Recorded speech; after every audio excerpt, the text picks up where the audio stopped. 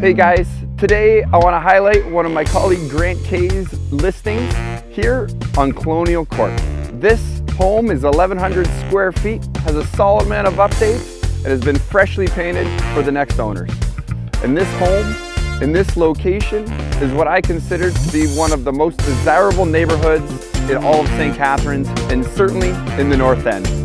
I just absolutely love the, the tree canopy, the waterfront trails, the unique architecture, and of course it has some of the best schools that has families moving in in droves.